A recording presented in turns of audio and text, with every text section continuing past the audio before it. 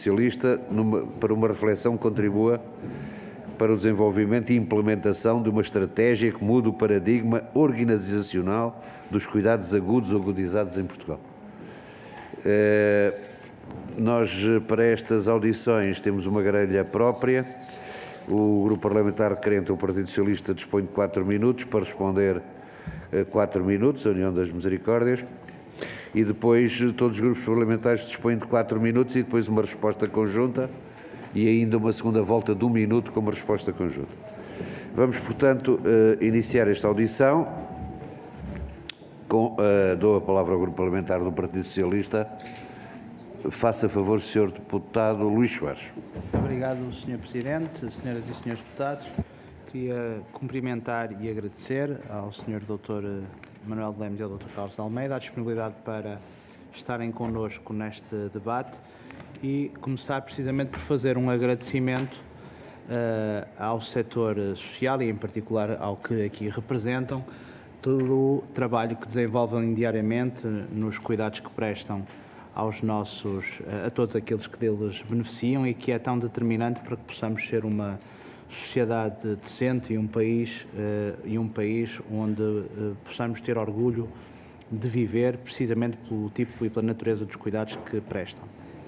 Esta discussão que estamos quase a findar no Parlamento eh, prende-se precisamente com a, a, a importância que eh, o Grupo Parlamentar do Partido Socialista dá à necessidade de refletirmos sobre eh, eh, o serviço, os serviços de saúde que prestamos aos nossos cidadãos e ela, na verdade, está muito centrada na questão das urgências hospitalares, mas gostaríamos que a discussão e a reflexão pudesse ser feita a montante e a jusante. E aí, a União das Misericórdias tem um papel eh, relevante, quer a jusante, quer a montante, eh, justamente porque eh, sabemos que no caso das urgências hospitalares, grande parte dos utilizadores dessas urgências recorrem aos serviços hospitalares provenientes eh, de unidades, eh, de unidades eh, para pessoas, pessoa, com pessoas idosas, institucionalizadas, que necessitam precisamente de cuidados hospitalares para, precisam de cuidados hospitalares. E a primeira pergunta que gostaríamos de deixar era perceber se as misericórdias, neste caso, estariam disponíveis para evoluir ainda um pouquinho mais na prestação de cuidados, na prestação de cuidados, e neste caso na prestação de cuidados de saúde, de forma a que se pudessem evitar que estes utilizadores frequentes ou hiperutilizadores das urgências pudessem receber cuidados de saúde nas instituições onde estão, onde estão inseridos, naturalmente então descongestionando ou, ou criando menos pressão sobre os, os serviços de urgência. Nós sabemos que muitos desses episódios de urgências se motivam por questões sociais, pelo envelhecimento, pelas comorbilidades, por polipatologias.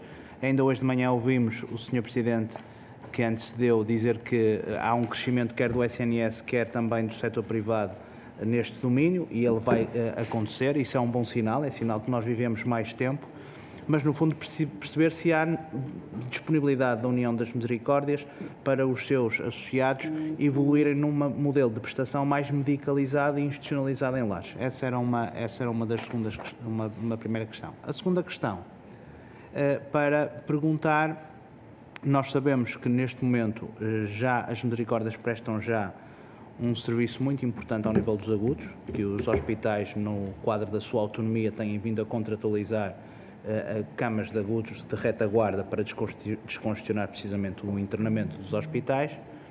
E perceber se no quadro desse, desse, desta prestação de cuidados agudos, que foi aliás um, um, um quadro de prestação muito importante no período da pandemia, que permitiu que de facto fôssemos mais efetivos nos hospitais públicos na prestação daquilo que eram os cuidados não agudizados, perceber também qual é a perspectiva que a União das Misericórdias tem sobre, sobre, esta, sobre, este, sobre este modelo de contratualização com câmaras de retaguarda e se há eh, espaço para melhorar, no fundo, essa eh, contratualização. Uma terceira e última questão, relacionada com a, a integração de cuidados e, neste caso, com os cuidados continuados integrados, não é?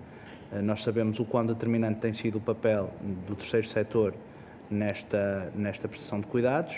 Há um caminho uh, que foi feito e que a nós nos orgulha muito, mas sabemos que ainda há uh, muito caminho para fazer, no caso também dos paliativos, mas ainda nos cuidados integrados, que foi onde desenvolvemos. E também perceber um pouco qual é que é a posição da União dos Misericórdias sobre esta, sobre esta articulação de cuidados e sobre a forma como ele tem sido feito com o setor público. Muito obrigado. Muito obrigado, Sr. Deputado Luís Soares. Para responder, dispõe também de quatro minutos. Sr. Manuel Lemos, faça favor. Muito bom dia, Sr. Presidente. Muito obrigado. Senhores deputados, bom dia. É um prazer vir aqui a esta Casa da Democracia, vir conversar e, sobretudo, refletir sobre algumas questões prementes que nos afligem a todos, uh, e sobretudo os portugueses, e eu queria, ainda bem que eu trouxe comigo o professor Manuel de Almeida, porque isto é uma, ele é o responsável pela área da saúde na União das Misericórdias e, portanto, está hum, e, e, conhece muito bem esta área e, portanto, poderá depois também complementar-se no âmbito dos quatro minutos, se pudermos ter. Eu, eu, eu, começava por dizer que a nossa participação, que se perde na longa dos, na noite dos séculos, nos últimos anos tem sido pautada pelo Pacto de Cooperação para a Solidariedade, que foi hum, celebrado há cerca de 26 anos com o, o engenheiro António Guterres como Primeiro-Ministro e depois, eh, o ano passado, hum, reassinado pelo Dr. António Costa e com a assinatura dos Ministros eh, da, hum, da Saúde também a nossa, digamos, nós olhamos para, para o arquétipo do Serviço Nacional de Saúde e da prestação de cuidados, não é? Como uma. Primeiro entendemos que é Serviço Nacional de Saúde. Está lá o N, não está lá um P, que o N significa nacional, não, serviço, não significa público. E, portanto, que o Serviço Nacional de Saúde é aquele que o Estado entende proteger, independentemente de quem o presta. Pode, naturalmente, tem sido sempre o Estado o maior prestador, mas há outros prestadores, entre os quais o setor eh, social, naturalmente. Eh, eh, e, portanto, nós, neste momento, eh, e para procurar responder à questão do Sr. Deputado, eu começava por dizer que nós estamos para já a desenvolver, no âmbito dos cuidados de saúde primários, algumas experiências em locais onde não há médicos. Começamos no Arco Ribeirinho de Setúbal, depois fizemos em Cascais, eh, eh, nas últimas semanas, eh, face à ausência de médicos aqui em Lisboa, estamos a, começar uma parceria com a Cruz Vermelha também nesse sentido e até já temos mais dois ou três locais em que as misericórdias e as autarquias nos pedem ajuda nessa, nessa, nessa matéria. Temos feito isso integradamente com o serviço, com o digamos, as ARS, para que não haja duplicação e os trabalhos com, é claro que eh, esperamos alargar isto e o ideal seria que houvesse as eh, chamadas unidades uh, do tipo C que permitiriam trabalhar em conjunto nessa matéria. Depois temos a questão dos agudos. E na questão dos agudos, como o Sr. Deputado bem referiu, nós temos uma longa participação com, com o Estado português e, e, e, entendemos que, a nossa, que essa prestação, eh, sobretudo, eh, se tem manifestado em alguns, em alguns momentos, foi decisiva, por exemplo, durante, durante o Covid. Nós eh, temos um acordo com o Estado português há, há muitos anos, em que também nos nossos hospitais, e ao abrigo desses acordos, tem evoluindo, tem evoluído, prestamos, prestamos cuidados e, digamos, próprios de agudos. E, e, e, daqui gostava de dizer uma pequena reflexão, que é o seguinte, o Serviço Nacional de Saúde tem 40 anos, quando, quando 45 anos, digamos, 45. Quando, quando foi celebrado, nós tínhamos outra demografia em Portugal. E o Serviço Nacional de Saúde foi pensado num outro quadro demográfico que não este.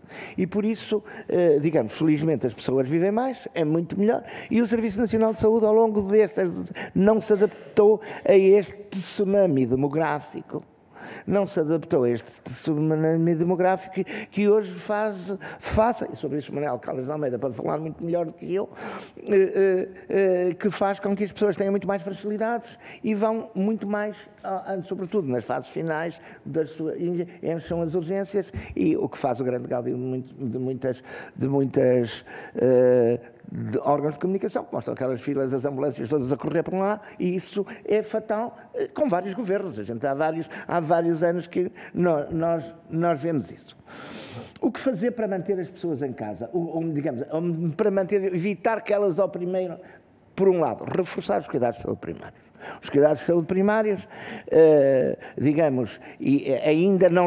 Se é verdade que os hospitais retomaram bastante, desde, nós temos há um bocado a sensação que me é transmitida eh, de que os cuidados de saúde primários ainda não estão a produzir aquilo que estavam a produzir antes da, da, da, da pandemia.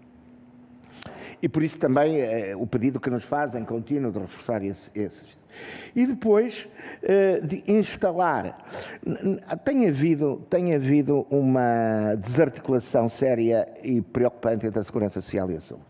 E, e de facto, com a pandemia começaram-se a dar alguns passos nesse sentido que, e, e, devo dizer que muito recentemente eh, temos conversado com o atual Ministro da Saúde sobre essa matéria e, e vamos, já iniciamos há cerca de 15 dias, um, demos passos que eu considero importantes, que foi a montagem dos balcões do SNS em misericórdias, eh, porque isso vai permitir que, sem o doente sair do seu, digamos, da sua instituição, vá, vá para o centro de saúde, por exemplo, um doente crónico, para que é que ele precisa de ir a uma consulta, se pode renovar? Eu, eu vi isso há 20 anos em Inglaterra, não, não estou a dizer nada de novo.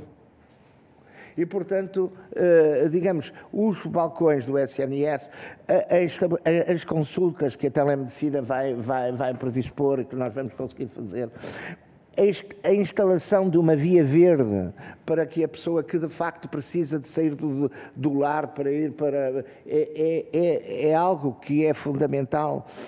Um lar, um lar estou-me a lembrar lares que estão a 30, 40 quilómetros de um hospital. Eh, se durante a noite um, um utente tem um problema, lá vai uma das veleiras com ele. E o outro lá fica com outra veleira. Se houver um segundo problema, o lar fica sem ninguém. E, e portanto, isto consegue-se resolver com uma via verde, isto consegue-se resolver com telemedicina, isto consegue-se resolver de, outra maneira.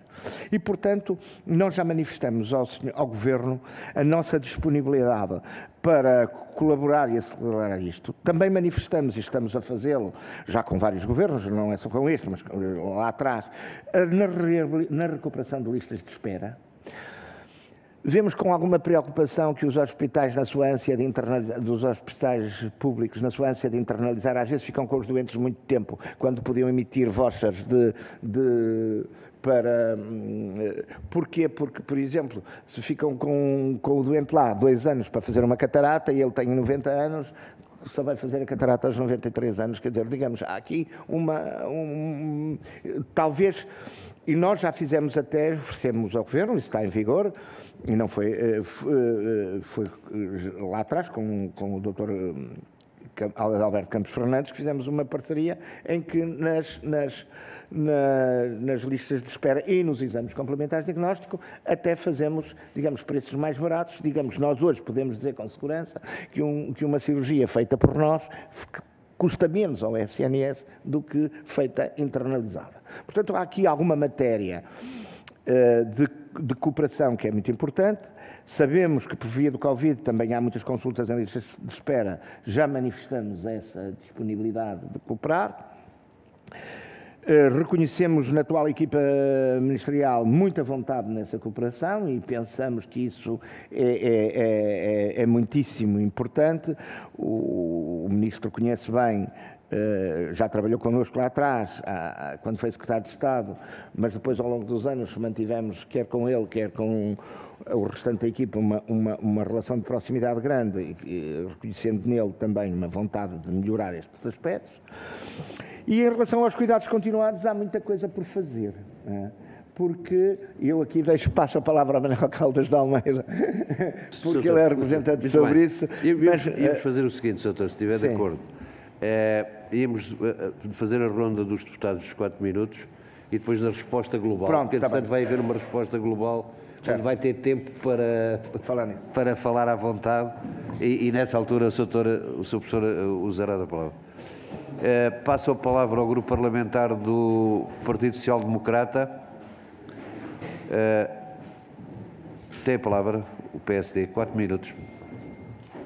Faça favor, Sra. Deputada. Muito obrigada, Sr. Presidente. Cumprimento o Sr. Presidente, as Senhoras e os Senhores Deputados, o Sr. Presidente da União das Misericórdias, Dr. Manuel Lemos, e o Sr. Vice-Presidente do Caldas de Almeida.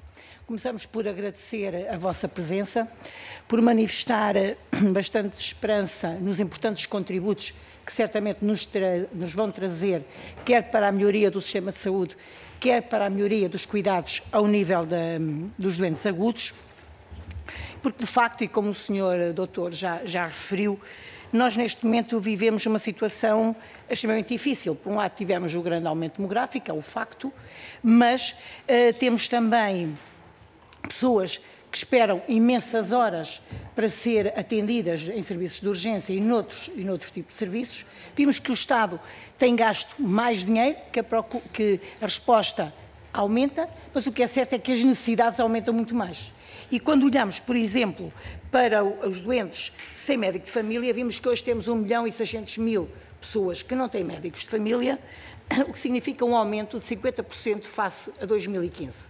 E quando vimos que as pessoas não têm médico de família, verificamos também que muitas pessoas com doenças crónicas não têm o devido acompanhamento e que existe um maior recurso aos serviços de urgência e elas depois acabam por, por entupir. Uh, temos respostas, possibilidades de resposta, quer ao nível do próprio Serviço Nacional de Saúde, isto em termos de recursos, quer dos hospitais privados, quer do setor social não lucrativo.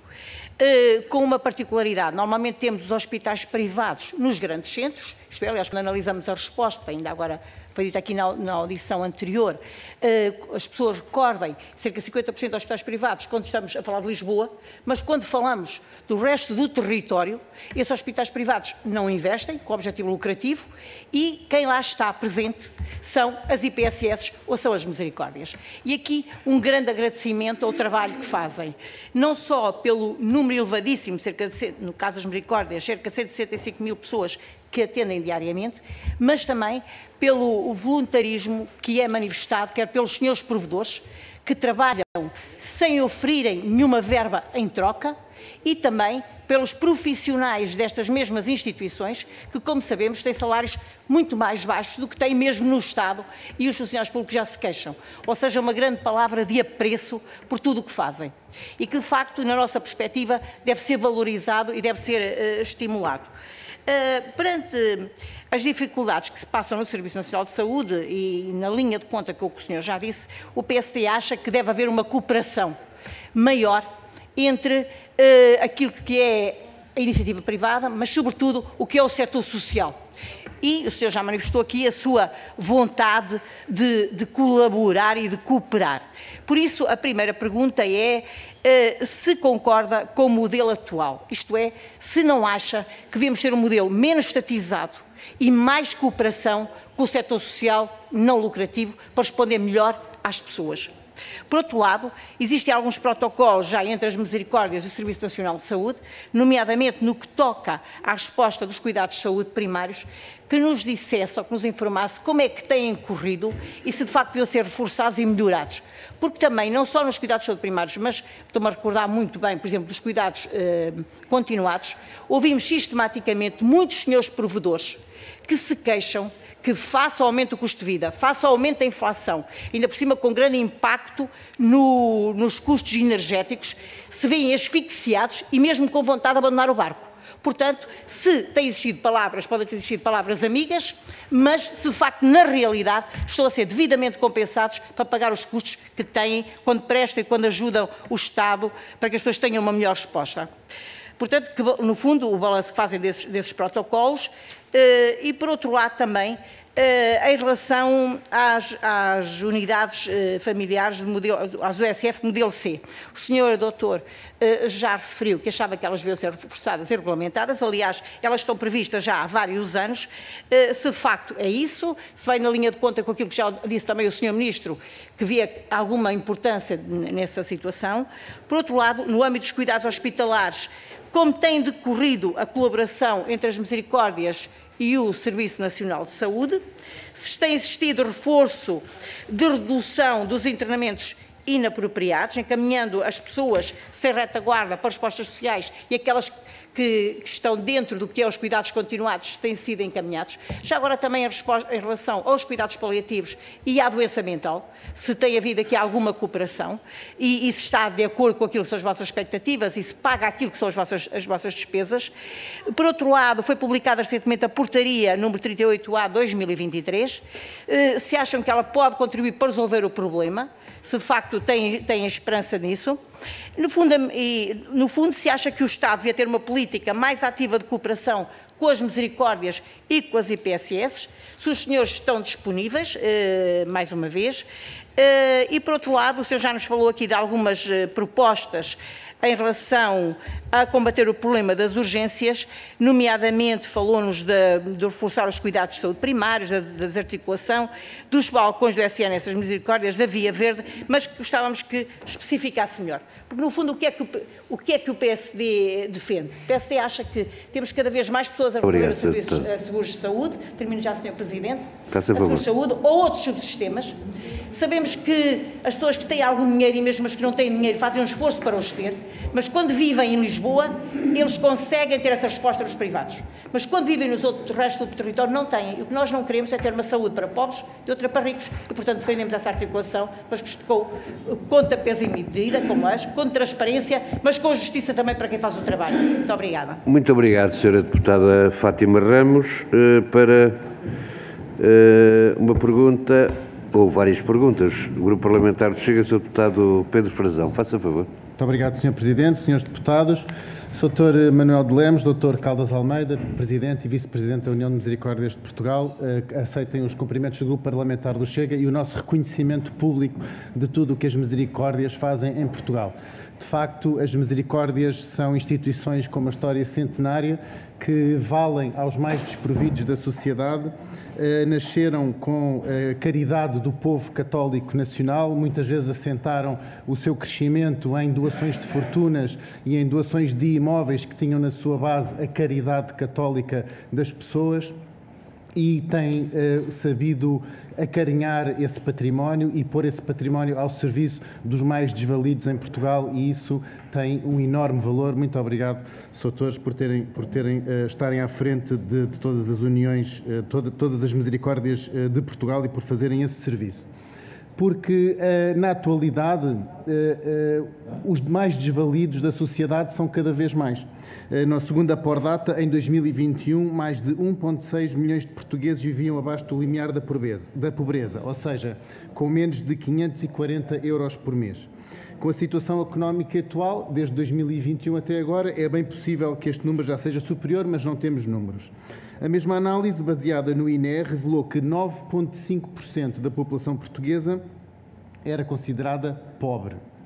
Mais de 2,6 milhões de portugueses, soubemos recentemente, vivem com até um salário de 660 euros por mês, portanto, muito pouco acima do limiar de pobreza. Ora, isto preocupa-nos muito e uh, instiga as misericórdias a terem um papel cada vez mais. Uh, ativo na sociedade, porque de facto a, a pobreza afeta o acesso dos portugueses aos cuidados de saúde, assim como a sua alimentação, e isso é muito visível naquilo que recentemente soubemos que as cantinas solidárias, as cantinas sociais das misericórdias em Portugal têm uma procura cada vez maior e, portanto, eh, não tendo acesso à alimentação, obviamente que os cuidados de saúde se vão eh, deteriorar por cima de toda esta situação de empobrecimento nacional, temos o envelhecimento da população. O envelhecimento da população e a forma como a população envelhece preocupa-nos, preocupa também a misericórdia, como uh, ouvimos de declarações recentes de, de, do Soutor,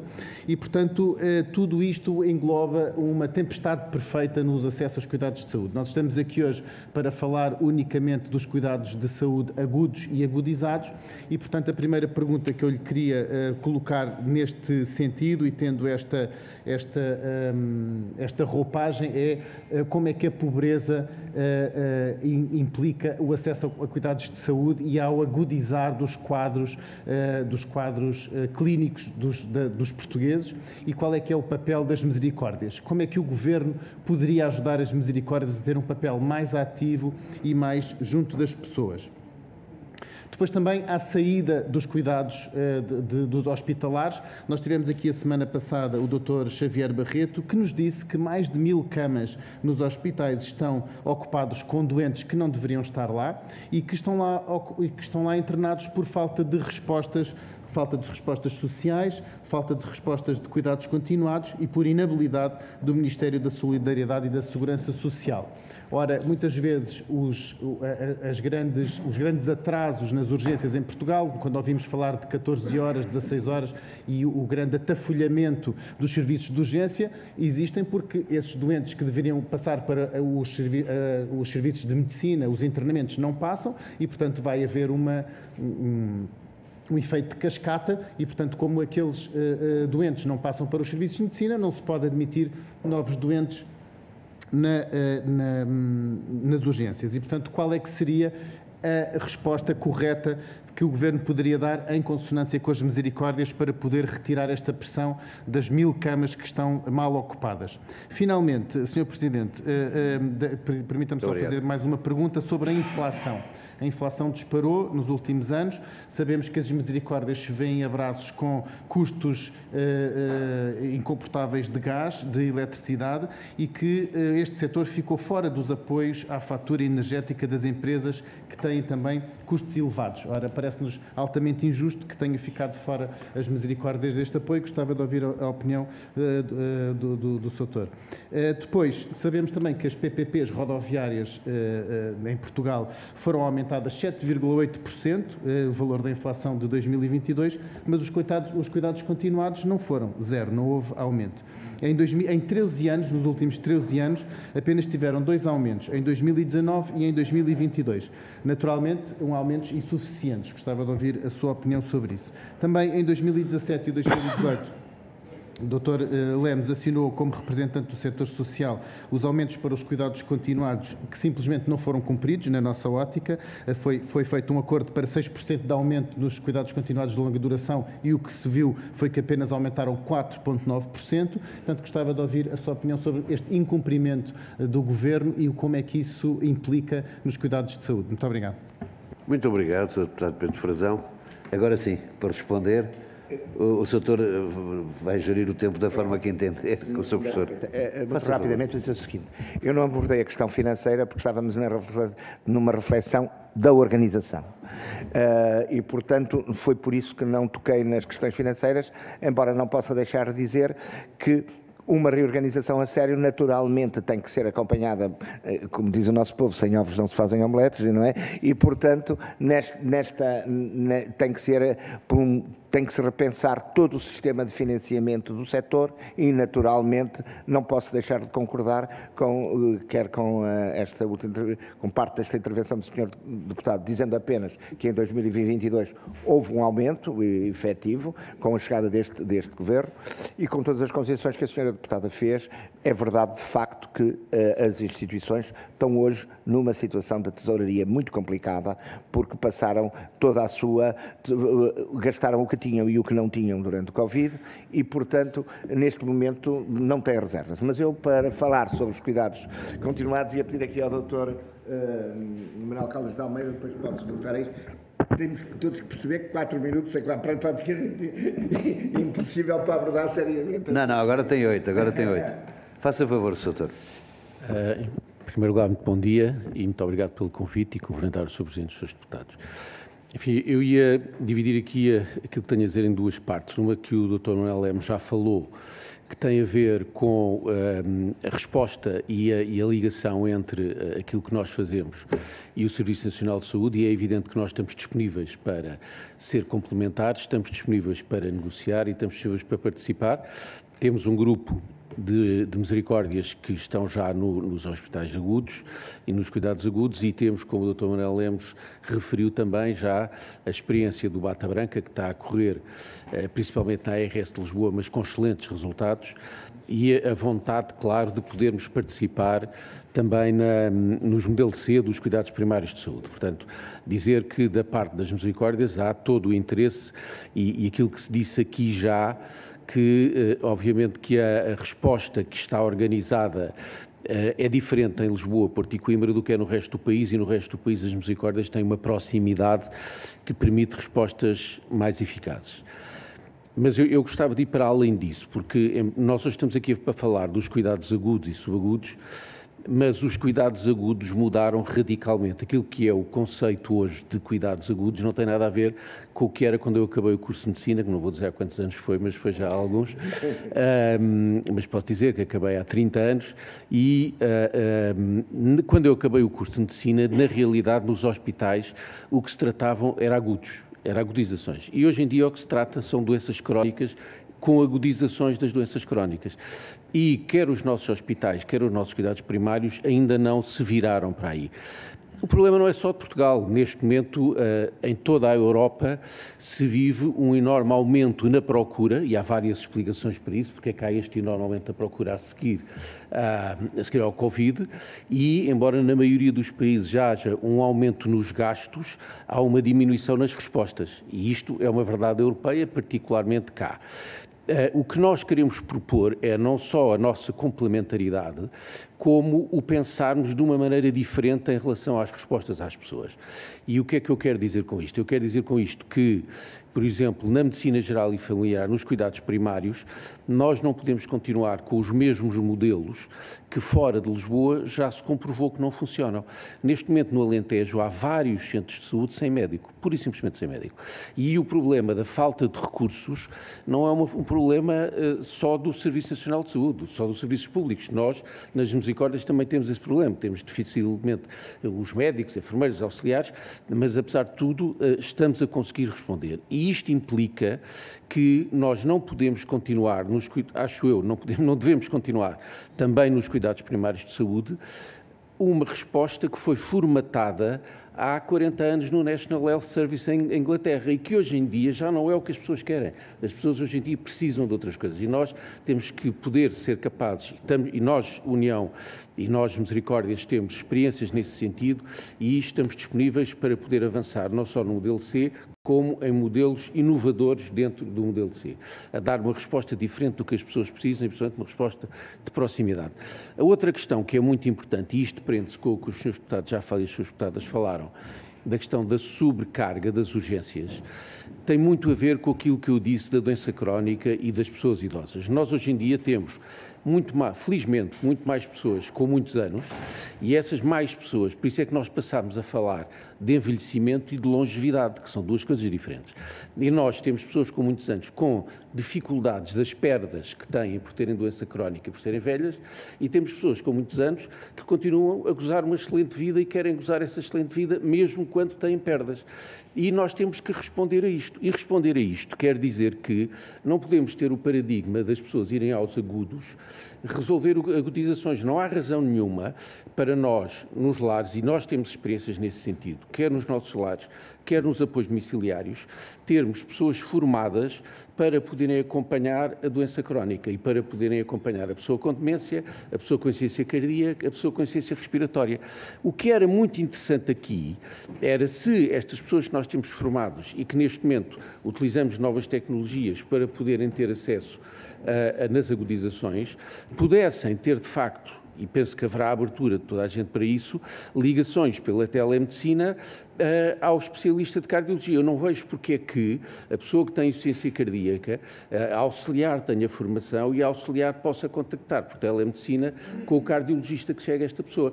Isto iria evitar 50% a 60% das idas das insuficiências cardíacas e respiratórias e renais à urgência. Há, há, há experiências disto noutros países e os resultados são sempre bons. Nós estamos abertos a isso, estamos já a fazer em alguns apoios domiciliários e em alguns lares experiências deste tipo e com excelentes resultados. Portanto, o que eu quero dizer é que as, as, as, doenças, a maneira como as pessoas vivem as doenças e as próprias pessoas mudaram radicalmente. E as nossas respostas não mudaram com essa rapidez, mas têm que, têm que mudar, porque senão as, a, o desajuste entre aquilo que fazemos e o que as pessoas precisam vai ser cada vez maior. O que nós os dois estamos aqui a dizer hoje é que, que a União e as Misericórdias estão não só disponíveis para entrar como complementar em relação àquilo que é a organização tradicional, mas também para entrar na reflexão da, da, inovação urgente que temos que fazer, quer nos cuidados primários de saúde, quer nos cuidados agudos. E se nós fizermos isto em relação à doença crónica na comunidade, vamos certamente ter um impacto grande na, na, na hospitalização e principalmente naquilo que as pessoas querem na urgência. Só para vos explicar muito rapidamente, eu há uns tempos pedi a uns alunos meus para fazerem um estudo sobre as urgências. E houve um deles que fez sobre a urgência de Évora e outro sobre o Amadora Sintra. E a conclusão a que se chegou é que há imensa gente que vai ao Amadora Sintra, que são pessoas novas, que querem o seu problema resolvido no dia. E, portanto, eles vão à urgência porque querem chegar lá, fazer as análises, fazer a radiografia, fazer não sei o quê. Podem dizer, ah, te esperas 12 horas. Eu espero 12 horas, mas venho para casa com o problema resolvido. E isto é o que as pessoas com doença crónica ou não esperam da urgência nas grandes cidades. Em Évora é completamente diferente, porque em Évora os idosos não conseguem ir à urgência senão com uma cartinha que lhes garanta o transporte e, portanto, há uma referência e há uma procura completamente diferente. O que eu quero dizer com isto, e dando resposta também a algumas coisas que aqui se disseram, é que as necessidades das pessoas são totalmente diferentes conforme estão numa grande cidade ou estão mais no interior do país enquanto houver pessoas no interior do país. Isso também é uma questão a, a, prazo, não é? É uma questão a prazo. Mas como esperemos que ainda demora algum tempo, eh, portanto, a nossa resposta é esta. Pensarmos nas novas necessidades e não é preciso eh, muito dinheiro, é preciso novas organizações para podermos dar resposta à doença crónica. E eu aqui estou a falar, nós temos experiências já que podemos comprovar no seguimento da, da demência, por exemplo, querem, querem apoio domiciliário, quer institucionalmente, e temos métodos de trabalho para isso, e temos também experiências para uh, a doença crónica geral, no geral, querem lar, querem apoio domiciliário, que poderia mudar muito a coisa. Em relação aos cuidados continuados, e muito resumidamente, eu acho que todos nós nos podemos orgulhar do que fizemos em 17 anos. Nós criámos um novo nível de cuidados e um novo nível de cuidados que vem responder ao que as pessoas precisam. Portanto, estamos todos orgulhosos. Nós, Misericórdia, estamos particularmente orgulhosos porque representamos mais de 50% das respostas mas chegou claramente à altura de olhar para o produto e ver como é que as coisas estão. A nossa opinião é que as tipologias genericamente respondem às necessidades. Temos muita pena que os paliativos tenham saído da rede, porque isto vai prejudicar muito a articulação entre a média e a longa duração e os paliativos, portanto achamos que tinha toda a lógica continuar na rede. Nós estamos disponíveis para alargar a nossa eh, participação, quer na convalescença, quer nos paliativos, e temos muitas misericórdias disponíveis para isso. E aqui também, mais uma vez, achamos que os paliativos, saindo do hospital e tendo uma, uma presença de proximidade, podem ser mais uh, afetivos e mais efetivos. Uh, é, quais são os grandes problemas nos cuidados continuados neste momento? Claro que é a questão financeira, é, é transversal a tudo o que nós fazemos e, e, e, os aumentos de custos recentes vieram agravar imenso tudo isto, mas o que nós achamos principalmente é que os cuidados continuados estrangulam na longa duração, ou seja, as unidades de longa duração não têm para onde pôr as pessoas a seguir, principalmente são pessoas com carências sociais e familiares, e portanto estrangula, e se não saem da longa duração, não saem da média para a longa e não saem da convalescença para a média, e portanto o sistema fica estrangulado. Isto implica, e vínhamos há bocado no carro a falar sobre isso, uma reflexão muito urgente e muito profunda sobre os cuidados de longa duração às pessoas mais velhas. E quando eu digo cuidados de longa duração, não estou a dizer nos cuidados continuados, estou a dizer pessoas mais velhas que precisam de cuidados mais tempo. E dentro disto nós temos os lares, temos as unidades de longa duração, uh, haverá pessoas que só precisam quase de cuidados hoteleiros, cada vez menos, mas há pessoas que precisam de cuidados à demência, há pessoas que precisam de cuidados à demência crónica, há pessoas que precisam de cuidados. Pronto, e que nós temos adaptado os nossos lares a isso à nossa custa, mas acho que tem que haver. Eu não estou aqui para falar de dinheiro hoje, estou para falar de organização. E na organização é urgente termos uma reflexão sobre isto e mudarmos um bocadinho o que é que é o lar e o que é que é a longa duração do ponto de vista geral. E eu aqui falo da longa duração, inclusive em casa, porque é o apoio domiciliário de longa duração. Muito obrigado, Sr. Doutor. Faça, favor. aqui uma nota. Eh, Eu, eu, eu queria dizer o seguinte, há bocado estava a dizer, oito minutos é muito pouco para conversar de temas tão sérios e eu estava aqui a pensar que se, calhar um dia, destes- dia destes é a nossa vez de convidar os senhores deputados para irem lá, sem tempo, à União das Misericórdias para conversarmos todos sobre isto, porque isto vai muito para além das opções individuais de, de cada partido, estamos a falar dos portugueses em geral e são problemas, como eu disse, que passam os governos. Eh, E depois dizer o seguinte, eh, nós podemos falar só sobre a questão uh, da, da hospitalar, mas isto é um todo. E é um todo que começa nos lares. Porque, eh, repare, nós até estamos a assistir a uma migração dos lares para a saúde. Com esta mudança de perfil do idoso estamos nos lares. Já estamos a assistir a uma, a uma- a uma- E nós ouvimos hum, às vezes umas vozes, por exemplo, dizer que no programa no 2030 que vem aí não vai haver dinheiro para os lares. Como não vai haver dinheiro para lares? Como não vai? Onde vamos fazer as pessoas? Da mesma maneira, como que vamos fazer? Vamos fazer a desinstitucionalização das crianças. Como não vamos fazer a, desinstitu- a- a desinstitu- Onde é que vamos pôr as crianças? Vamos prendê-las? Quer dizer, há aqui todo um conjunto de reflexões e que vale a pena, senhores deputados, conversar com isto com calma, sem, eh, digamos, para tentarmos perceber, porque isto passa de, de governos para governos, não é? E hoje está um governo e daqui a uns anos pode estar outro e o problema não mudou nada, ou melhor, só se agudizou. E por isso, eu gostava de dizer, por exemplo, nós, nós queremos mudar, tirar as pessoas dos hospitais para os lares, mas os lares estão cheios. Os lares estão cheios. Nós temos uma, uma unidade que criamos dentro de- de- da União das Misericórdias para fazer a gestão das vagas hospitalares e a portaria que referiu vem nesse, vem nesse sentido para tentarmos facilitar um, um bocadinho mais e é uma excelente iniciativa. Agora, os lares estão cheios. Os nossos lares. Havia muita gente que profetizou que com o Covid que as pessoas iam fugir dos lares. Estavam completamente enganadas. As pessoas, as pessoas acharam que, nomeadamente, estou a falar das misericórdias, era uma grande resposta. Os nossos lares estão a abarrotar.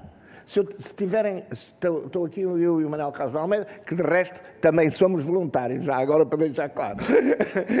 e, e estamos aqui. eh, Estamos aqui os dois, mas se tiverem aqui cinco, prove- cinco provedores, vão ver que estão todos ao telefone. E se perguntar a, a todos o que é, são as pessoas a meterem cunhas, entre aspas, para meter o avô, o tio, a tia, a não sei o quê, no lar. Porque o lar está a arrebentar. E telefonam diariamente, não vai alguém ter morrido durante a noite. E, portanto, digamos, este esforço que estamos a fazer para colocar na- na- na- nos lares é um esforço hercúleo para colaborar com os portugueses, porque percebemos que os lares, eh, que os hospitais estão cheios e há pessoas que não encontram e precisavam de uma cama hospitalar. Mas isso levava-nos muito longe, ficávamos aqui a manhã toda. Muito obrigado, Sr. Presidente, e desculpe. Muito, muito obrigado, Sr. Doutor. Eh, vamos então à última ronda. Eh, Grupo Parlamentar do. Um minuto. Grupo Parlamentar do Partido Socialista, Sr. Deputado Luís Soares. Faça Muito favor. obrigado, um minuto. Sr. Desculpa, mas a reflexão, como está a ser tão, tão eh, profícua, eh, faz-nos pensar ainda mais naquilo que estamos a ouvir. Muito rapidamente, eh, agradecer eh, o contributo que nos deram. Da nossa parte, dizer que o convite que nos foi endereçado aceitaremos.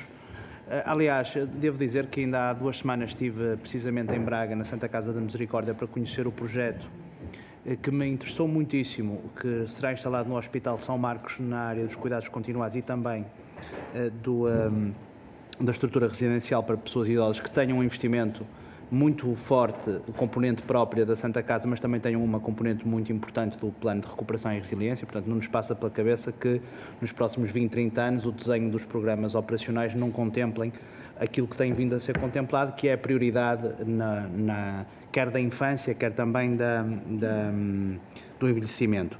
E nesta medida também eh, destacar esse projeto que conheci e que ainda não falamos, mas que também é importante, que é precisamente a questão da prevenção da doença e da promoção da saúde. Nós o que temos assistido é, no caso dos idosos, a um, precisamente pelo envelhecimento, eh, pelo aumento da esperança média de vida, a um envelhecimento saudável mais tardio, mas também é importante que nós possamos eh, atuar na área da prevenção da doença e da, e da promoção da saúde também e perceber o que é que nesse domínio eh, também a União das Misericórdias está a fazer, está a fazer para garantir isso, isso mesmo.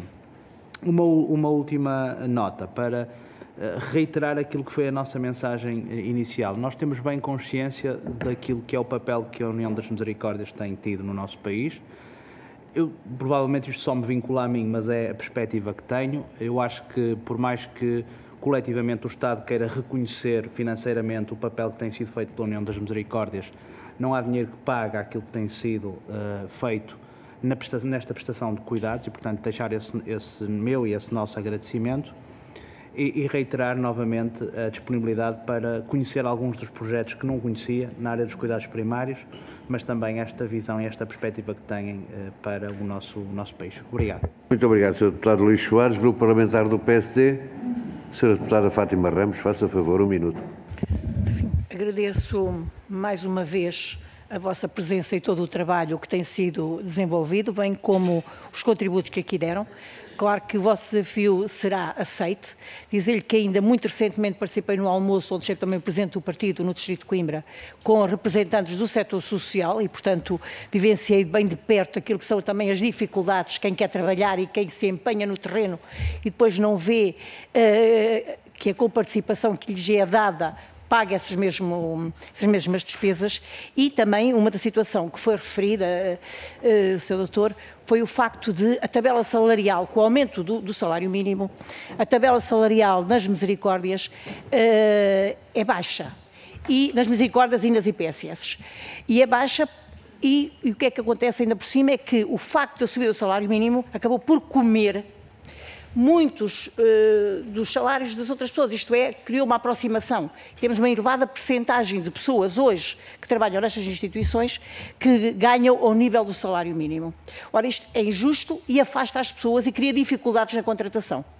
Uh, sabemos que não pagam mais porque não podem e, por esse sentido, gostávamos de perguntar se não acham que está na altura das IPSS e das misericórdias exigirem ao Governo a atualização dos acordos de cooperação para que seja possível a atualização de salários, no mínimo, para que eles fossem similares aos da função pública. Uh, segundo ponto, Uh, em relação a tudo o que disseram, para o PS é de facto caricato o seguinte: é que nós tínhamos, por exemplo, e estou a falar do interior, uma misericórdia que está a funcionar 24 horas, que tem, por exemplo, cuidados continuados, que tem lá médico, e ao lado temos o centro de saúde fechado, e temos a pessoa com uma simples dor mais aguda, que, em vez de poder ir àquela misericórdia e ser atendida, vai entupir as urgências e vai andar quilómetros e quilómetros de distância. Isto para nós é um contrassenso e, portanto, gostava de, de, de, frisar mais uma vez que, na nossa opinião, devia existir uma maior cooperação, quer com as misericórdias, quer com o setor social não lucrativo, nomeadamente as IPSS. Muito obrigado. Muito obrigado, Sra. Deputada Fátima Ramos. Uh... Chega o Sr. Deputado Pedro Frazão. Faça favor, Sr. Deputado. Muito obrigado, Sr. Presidente. Srs. Deputados, Dr. Manuel de Lemos, Dr. Caldas de Almeida, muito obrigado eh, pela, pelas vossas respostas e, portanto, para tentar aqui sedimentar, o que eu percebi era que, de facto, se houvesse mais respostas em cuidados continuados, em lares de idosos, apoio domiciliário, em deficiência eh, mental, em saúde mental, se tudo isto estivesse mais bem organizado e melhor articulado, portanto, não seriam necessárias tantas ofertas nas camas hospitalares, que são mais caras, e os hospitais poderiam dedicar-se precisamente para aquilo que foram construídos, que é atender uh, os casos verdadeiramente agudos, verdadeiramente urgentes, e não uh, os casos que, que, que o Sr. Uh, Caldas de Almeida referenciou e explorou muito bem. E, portanto, gostava de concretizar nesta segunda ronda uma outra pergunta que é de que forma é que as misericórdias podem, no imediato, ajudar a suprir ou a ajudar a diminuir este caos que vemos nas urgências em Portugal. Nós vemos ciclicamente no verão e nas alturas festivas eh, várias horas de espera nas urgências, ambulâncias à espera nas urgências para deixarem os seus doentes e para recuperarem as suas macas. Vemos a rotatividade do, encerramento dos serviços de urgências em vários hospitais pelo país e, portanto, gostava que nos pudessem dizer objetivamente e no imediato como é que as misericórdias poderiam ajudar e de que meios precisam para ajudar. Finalmente, gostava de perguntar também se existe risco de fechar nos cuidados de saúde misericórdias, como aconteceu em Viseu nós vimos espantados que a Misericórdia de Viseu encerrou um centro de apoio a crianças, que esse centro encerrou por falta de uh, financiamento do Estado. A Misericórdia de, Santa Casa da Misericórdia de Viseu disse publicamente que, devido a ter acumulado 700 mil euros de prejuízo ao longo dos últimos anos por falta de financiamento do governo, teve que encerrar uma casa que recebia crianças em risco. É isto que está a passar em Portugal. Também recebemos a notícia que a Casa, do, a casa da Criança do Rogil está também, anunciou também que vai fechar porque não aguenta o subfinanciamento. Eu gostava de saber se existem, do vosso conhecimento, mais casas, Santas Casas da Misericórdia que estão em risco de fechar, quantas são e se, o que é que isso implicará nos cuidados de saúde. Muito obrigado, Sr. Presidente. Muito obrigado, Sr. Deputado Pedro Frazão. Agora sim, para responder. Uh Primeiro, uma vez que é a intervenção final, em meu nome do, do Dr. Manuel Carlos de Almeida, agradecer hum, esta oportunidade de vir aqui conversar. Hum, temos, de facto, muito pouco tempo para um temas tão alargados e, e, tão, e tão complicados. Eu diria que há misericórdias a fechar, respondendo, respondendo, começando por si, responde o Sr. Deputado dizendo que há misericórdias a fechar respostas. A fechar respostas. Uh, porquê? Uh, por várias razões, e uma das quais é também o financiamento. Uh, a reorganização aqui é obviamente necessária para gastar com o mesmo dinheiro podermos fazer mais. À senhora deputada Fátima Ramos, queria lhe dizer o seguinte, estou completamente de acordo consigo. Nós, de facto, estas subidas do salário, do salário mínimo, que são devidas, são devidas, ninguém, ninguém contesta o salário mínimo, têm que ser acompanhados por um equilíbrio para o funcionamento e por isso, nesse e, e, e estamos aqui num, numa, numa questão que eu acho que é importantíssima e penso que vamos dar passos importantes nesse sentido, que é eh, uma coisa que nunca ninguém, nunca, apesar de várias tentativas nossas com diferentes governos, nunca foi possível fazer que foi estabelecer o custo médio de cada uma das de respostas sociais. Só com o custo médio, das, porque senão estamos a falar de quê? Também podemos estar aqui e ali a falar de uma gestão de uma IPS, não é? Portanto, temos que falar de tudo abertamente. E, portanto, temos que encontrar o custo médio de cada uma das respostas sociais e vamos verificar que, por exemplo, o custo aqui em, em Lisboa será provavelmente diferente de Braga, ou vamos encontrar, o, ou por NUTS, ou por outra coisa qualquer. Estamos a trabalhar isso. Acreditamos que em maio a União das Misericórdias terá um, uma proposta concreta para apresentar ao Governo e, e aí sim eh, confrontarmos o Estado é, é mais que o Governo, é o próprio Estado, não é? Com, com, com, a, com a questão dos custos uh, reais para fazer aquilo bem feito. Porque para fazer mal feito não vale a pena, não é? Quer dizer, para, fazer, para tratar com dignidade os nossos utentes e os nossos trabalhadores. Finalmente, dizendo aqui ao Senhor eh, Deputado que nós estamos a trabalhar bem com este Governo, Uh, temos até, aliás, já marcada, temos falado muito com o Dr. Fernando Araújo e, e, e, vamos fazer uma reunião com ele em que vamos precisamente conversar sobre isto tudo. Sabemos da disponibilidade dele e do, e do Sr. Ministro e do Sr. Secretário de Estado para perceberem que nós não queremos ganhar dinheiro com isto no, no, sentido. Agora precisamos de ter resultados para pagar, para pagar aos trabalhadores e para manter as, instituições dignas. E aqui há todo um espaço de colaboração, de cooperação, eh, de aproveitamento dos recursos. Portugal não é um país rico, digamos assim. E, portanto, precisamos de aproveitar os recursos que nós temos e colocamos calmamente, serenamente, à disposição das comunidades. E eu queria deixar aqui outra vez ali para brincar ali com a senhora deputada na Casa da Democracia, na Casa da Democracia, o nosso testemunho vigoroso da nossa determinação absoluta de cooperar com, com os cidadãos, com os portugueses. Aí é minha. já foi minha, agora já não é. É, é a casa do povo. Posso, posso só... Faça favor, ainda, ainda tem tempo. Não, vou ser muito rápido. Não, mas é que ainda há tempo. Uh, sim, Faça favor. Daquilo que se disse agora nesta última ronda, eu queria salientar duas coisas que vão ser muito importantes no nosso futuro como país.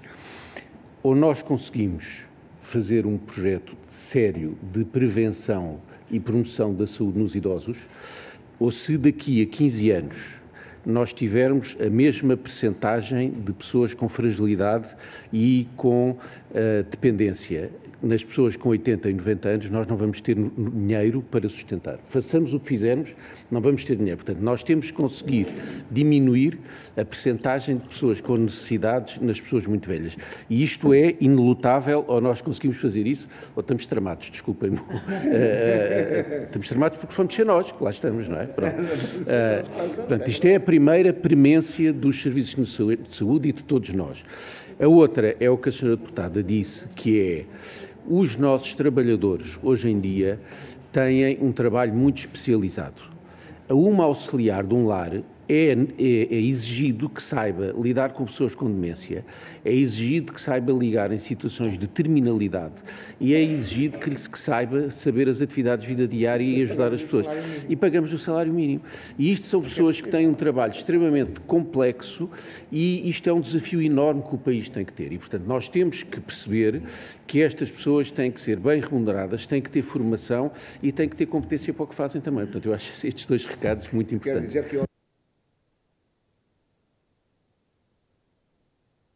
Hipóteses claros, e, e, e, o que, que o Manuel Carlos estava a dizer, eu tive a ocasião de dizer ao secretário-geral da UGT, exatamente nos mesmos termos do que, do que ele acabou de dizer. Nós precisamos de formação e nós precisamos de mais salário. E, e, os, e, é uma questão de opções do Estado. Nós percebemos que o dinheiro não dá para tudo. Não é? Portanto, é uma questão de opções do Estado português não é do governo A, B ou C, porque nós já passamos isto com outros governos, não é? E de outras, de outras filosofias. Portanto, é uma questão muito mais séria. Por isso eu renovo, vamos combinar aqui um dia para vos convidar para conversarmos sem tempo. Muito obrigado. Muito obrigado. Muito obrigado. Uh, agradeço. Exato, exatamente. Agradeço naturalmente ao, ao, ao Dr. Manuel Lemos, ao Dr. Manuel Caldas de Almeida. Eh, agradeço particularmente ao Manuel Lemos o trabalho e a dedicação que lhe é reconhecida eh, nesta área da União das Misericórdias Portuguesas. Agradecer as explicações, os contributos, as respostas e aceitar o convite. Eu tenho um convite, eh, enfim, que será extensivo à Comissão para irmos ao Porto, à, à Misericórdia do Porto e visitar todas as suas valências e eventualmente podemos aproveitar essa oportunidade para ter uma discussão com a União das Misericórdias, uma conversa mais longa nessa visita que naturalmente devemos fazer ao Porto, para, dedicada exatamente a esta área. Muito obrigado, até breve, até breve, sendo assim.